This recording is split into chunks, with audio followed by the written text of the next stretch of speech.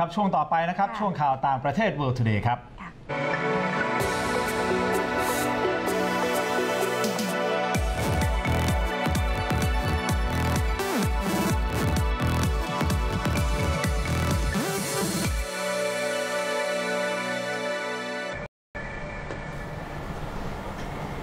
สวัสดีค่ะ คุณผู้ชมคะติดตามความเคลื่อนไหวต่างประเทศ World Today ในช่วงนี้กันนะคะ ซึ่งช่วงแรกค่ะ เราเกาะกระแสการแข่งขันบอลโลก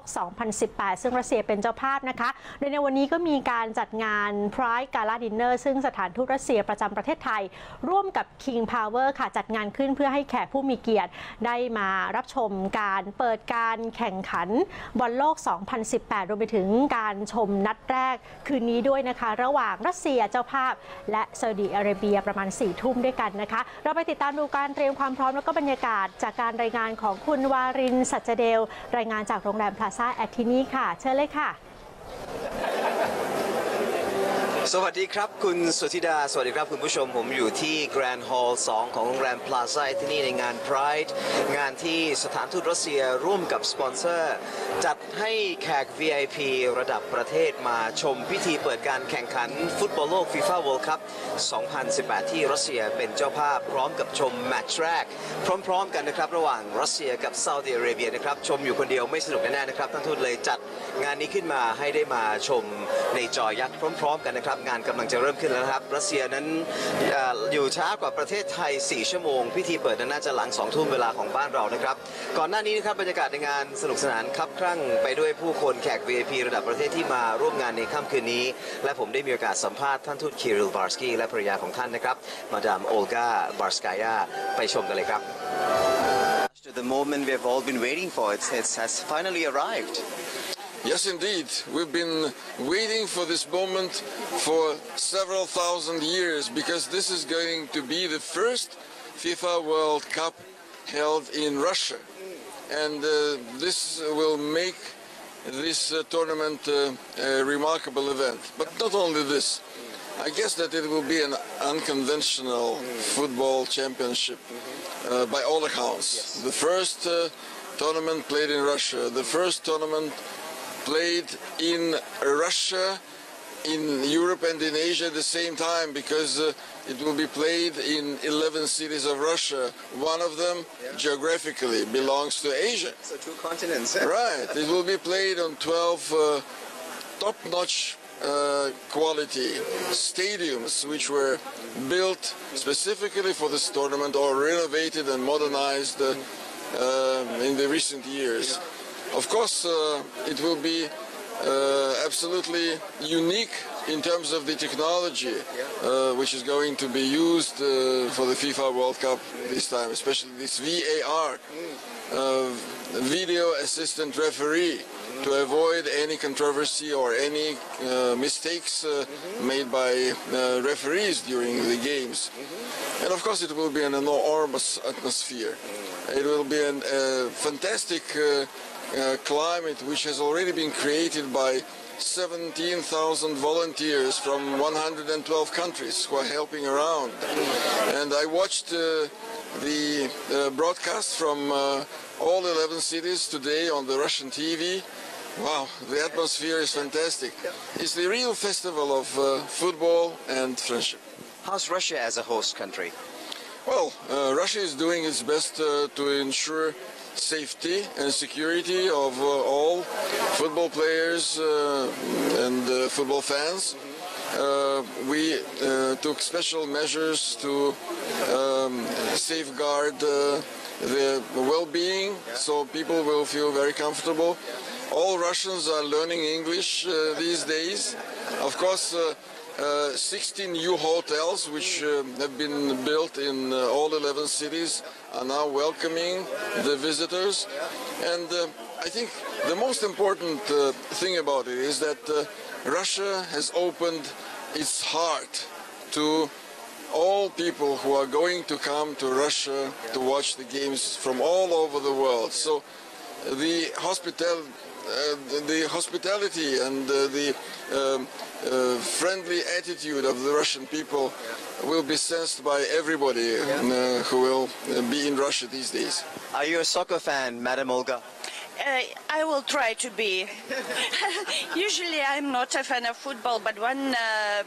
our team is playing, I be- be- become a crazy football fan. No doubt about that. No doubt about that. And tonight, the first match, Achilles predicted that Russia will win, but uh,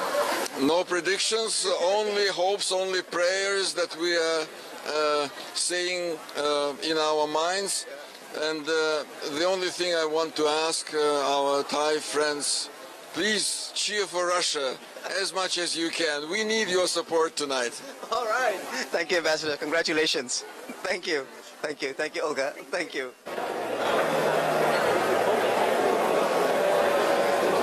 ป็นการะกาศให้โลกได้รับรู้ความพร้อมของรัสเซียในการเป็นเจ้าภาพฟีฟ่า World Cup 2018 นะครับ กับ 12 สเตเดียมที่ทันสมัยใน 11 เมือง ซึ่งก็ถือว่าเป็นครั้งแรกในประวัติศาสตร์ที่ World Cup มีการแข่งใน 2 ทวีปนะครับ ทั้งเอเชียและยุโรปเพราะว่ารัสเซียนั้นเป็นประเทศที่ใหญ่นะครับนอกจากนั้นแล้วนะครับยังมี VAR Video Assistant Referee ที่มาช่วยให้กรรมการนั้นตัดสินได้แม่นยำมากยิ่งขึ้น และความน่ารักของมาดามโอลกานะครับว่าถึงแม้เธอจะไม่ได้เป็นคอบอลนะครับแต่ถ้าเกิดทีมรัสเซียลงแข่งนั้นแน่นอนเธอเชียร์สุดชีวิตเช่นเดียวกันนะครับ นี่เป็นบรรยากาศโดยรวมครับของ Grand Hall ที่ Plaza ที่นี่กับงานของสถานทูตรัสเซียงานที่มีชื่อว่า Pride ความภาคภูมิใจของรัสเซียในการเป็นเจ้าภาพ FIFA World Cup 2018 ที่กำลังจะเริ่มขึ้นในอีกไม่กี่นาทีข้างหน้านี้ครับค่ะขอบคุณคุณวารินสัจเดลด้วยนะคะ ส่วนคุณผู้ชมก็สามารถติดตามดูพิธีเปิดการแข่งขันบอลโลก 2018 รวมไปถึงทุกนัดของการแข่งขันได้กับทานเทียนโทนี่โฟช่อง 16 ของเรานะคะส่วนช่วงนี้ค่ะมาดูข่าวต่างประเทศที่มานำมาฝากกันบ้างมีหลายเรื่องด้วยกันนะคะ เริ่มกันที่เรื่องแรกที่ยังคงเป็นเรื่องของการประชุมสุดยอดระหว่างผู้นำสหรัฐ และผู้นำเกาหลีเหนือที่ประเทศสิงคโปร์นะคะ ซึ่งแน่นอนว่าหลังจากที่การเจรจาผ่านพ้นไป 12 มิถุนายนนะคะ ทางฝั่งของสหรัฐอเมริกา โดยประธานาธิบดีโดนัลด์ทรัมป์นั้นก็บอกเลยนะคะว่าจะ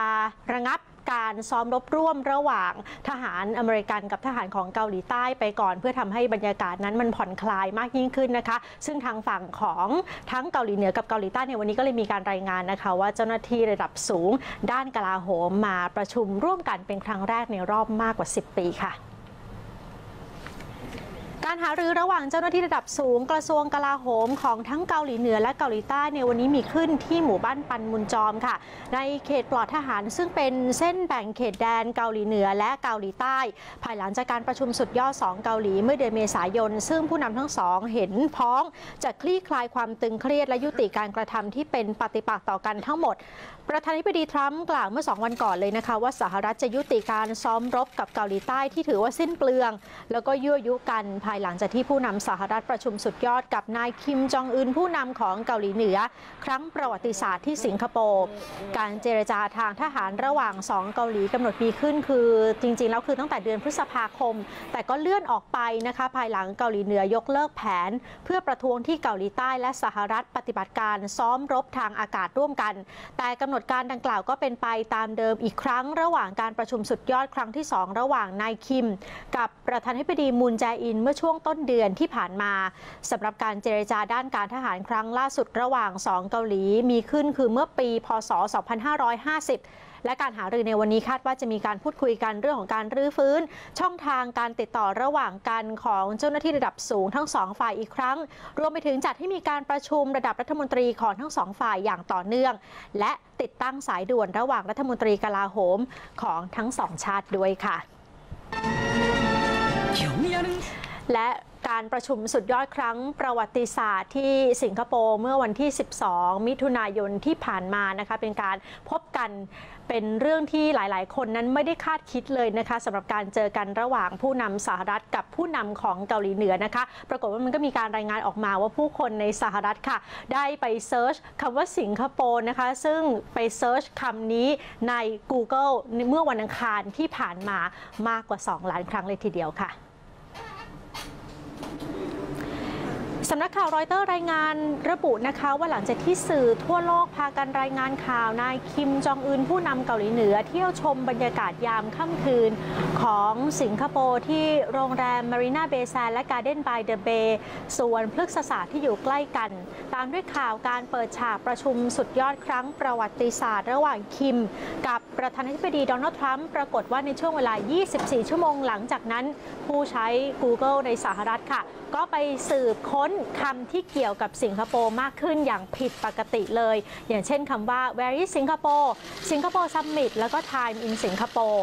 ส่วนบรรดาชาวสิงคโปร์บางคนก็วิจารณ์รัฐบาลนะคะที่ได้ใช้งบประมาณมากถึง 20 ล้านดอลลาร์สิงคโปร์หรือราว 480 ล้านบาท เป็นเจ้าภาพจัดการประชุม แต่ฝั่งของนักการตลาดเขาก็มองค่ะว่าเป็นการลงทุนที่แสนจะคุ้มค่า เพราะการประชาสัมพันธ์ประเทศให้เป็นที่รู้จักไปทั่วโลกขนาดนี้ จะต้องใช้เงินไม่ต่ำกว่า 200ล้านดอลลาร์สิงคโปร์หรือมากกว่า 4,800 ล้านบาท